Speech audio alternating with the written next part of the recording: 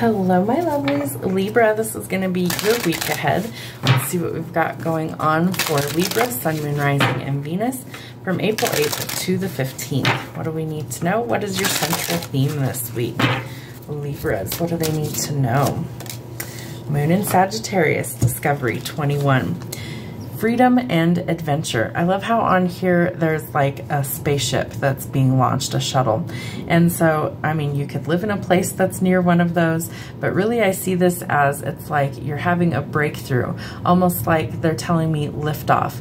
So you might have been really stuck and stagnant for a while and all of a sudden something's about to change that catapults you forward at a great rate of speed and gets you to step out of your comfort zone and discover some new things. So a period of discovery this week. All right, what do we need to know for love for Libra? Sun, Moon, and Rising. Libra. All right, Libra, let's see what's going on for you for love for the next seven days. Sorry, I had to pause and take the puppy outside. He's got a tiny little bladder, that one, and he needs to go pee like a hundred thousand times a day anymore. So we are back, but I'm slightly out of breath because I just ran up the stairs to finish your reading. What does Libra need to know for the next seven days? Woo, buddy. All right, Libra. So we start with a lot of sudden changes with lightning. So could be shocking news, a surprise, an epiphany, bringing upheaval and transformation. Um, Mercury in retrograde as a whole is kind of about transformative energy. We also have an eclipse on the 8th. So there could be some things that are sudden and shocking that come in for you. I feel like ultimately it leads to a beautiful period of discovery and transformation.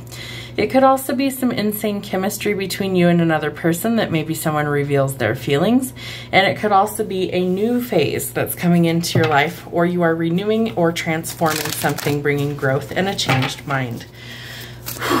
Deep breath. Let's get some oxygen flowing. What do we need to know from our dragons for the next seven days? What do the dragons have for the sign of Libra? Too many. Let's see.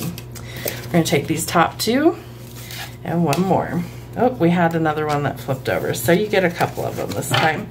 All right, we start with the mirror. You might need to do some shadow work. Remember that the reflection staring back at you can either be a beautiful thing or a negative thing, and it is a matter of perception. I feel like you also have these entities, these dragons with you that are trying to show you that it can be beautiful. So maybe you have a sudden breakthrough and go, you know what? It's not as bad as I thought. The new world. So you might be entering a new world. We are starting to see the uh, activation of the fourth 4D starting to move to the 5D for our new world, our new earth. So you are going to notice major disconnects between certain energies on the planet. Low vibrational frequencies are probably going to stay on the 3D dimensional planet. And we are starting to slowly separate from the 3D to the 4D, the 4D to the 5D. It's our period of enlightenment for our new world or our new earth. Don't lose hope that things can change for the better. I know sometimes it seems really dark, but remember that saying, it's always darkest before the dawn. There's something in your life that you need to keep hope alive that things can transform or change for the better. Spirit's advising that you don't lose hope that it can.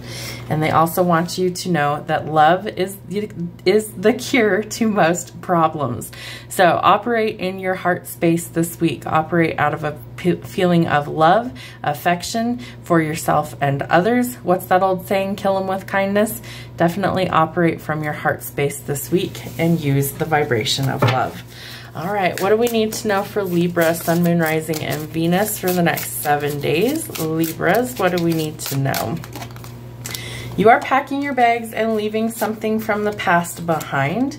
Could be financial worries are also improving and that they are getting better, so less worry about money. Could also be that you're blocking somebody and leaving them out in the cold.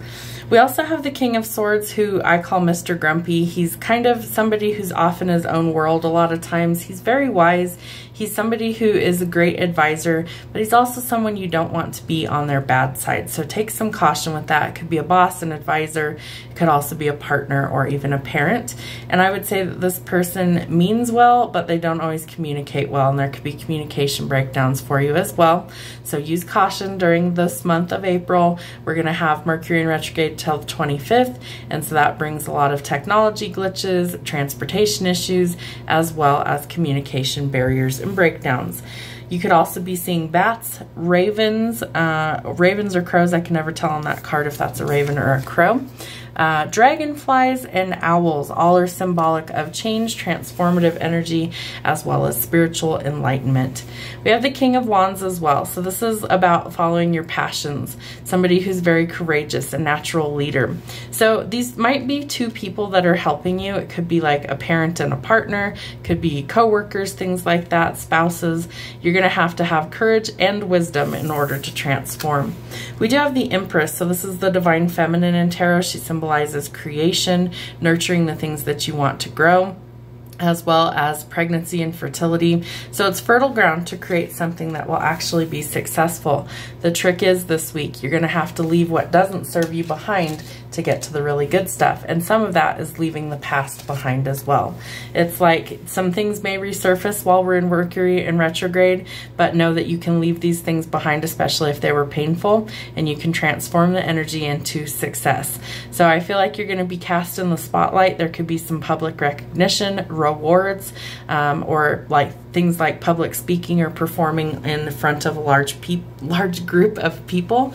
But some positive changes are coming if you're willing to leave it all behind. So remember that we have our central theme as it's a week of freedom and discovery. Have a great week. We'll see you soon.